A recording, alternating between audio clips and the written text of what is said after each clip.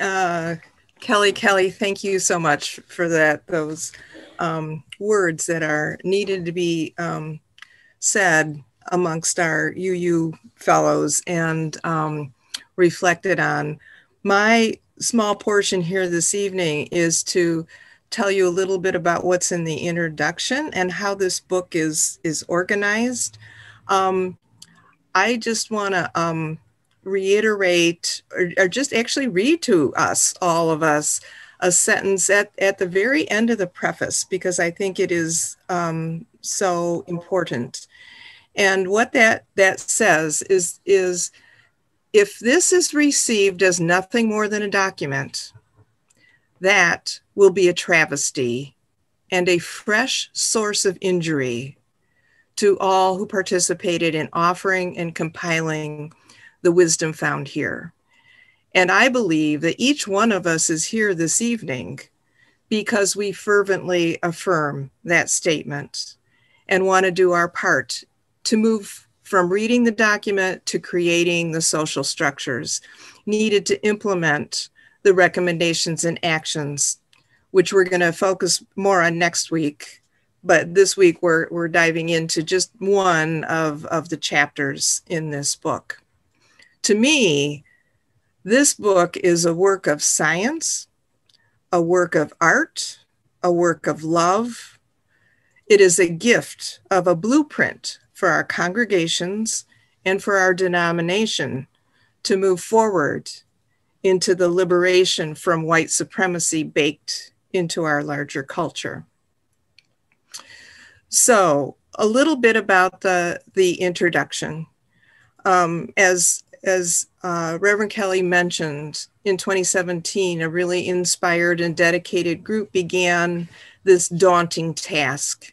Can you imagine creating the beginning steps of truth and reconciliation for the problem of racism in our in our midst?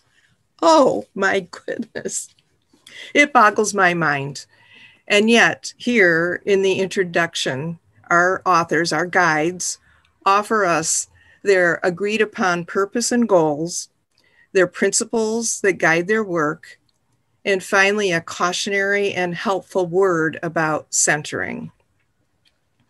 As a white person, I will lift up but one of these six stated goals, which is to collect stories of those who have been targets of harm or aggression because of racism with, within existing UUA culture and identify the aspects of that culture that must be dismantled to transform us into a faith for our times. Me, growing up in Perrysburg, Ohio, um, I had little contact with people of color. And the only black person I ever saw uh, was, came to clean our house a couple of times. So, fortunately, I've had the um, good fortune to expand my circle of friends and coworkers and, and congregants by moving to the Cleveland area on the cusp of being an adult. But in truth, many white people in our state of Ohio have had few, if any, significant relationships with Black, Indigenous people of color. So it can be kind of hard to believe that the harm and aggression occurs within our movement but it does. Working to understand the dynamics of this reality is important to me as a white person. I especially appreciate in this book the avatars because stories often bring home needed lessons in a way that an explanation does not. The introduction also reviews the five principles that guided their work and I encourage you to, to read that um, on your own. Uh, finally, this section contains a word about centering. It is important, in my opinion, to read and reread this uh, comment.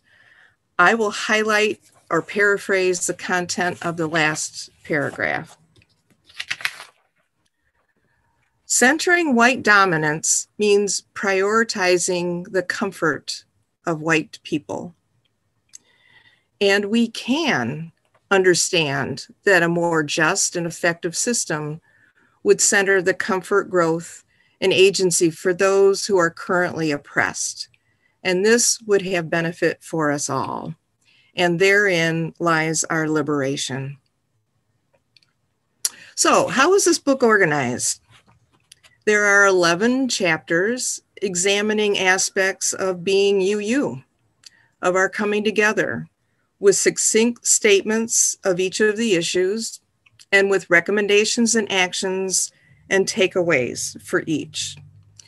Just a sampling of these aspects include things like theology, governance, hospitality and inclusion, education for liberation, accountability and resources, and, and so much more.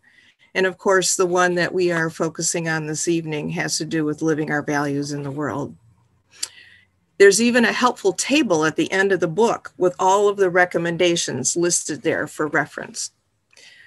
Uh, finally, I'll just mention the five avatars that are um, sprinkled throughout that describe real life experiences within our UUA environment, within our UUA world, that preserves the anonymity and anonymity and respect of the individuals involved, but are, are truly real experiences. So, my hope after delving into this tremendous gift is that we all will find motivation to find a way to share with each of our congregations the contents of this book and make a commitment to begin implementing the recommendations and actions.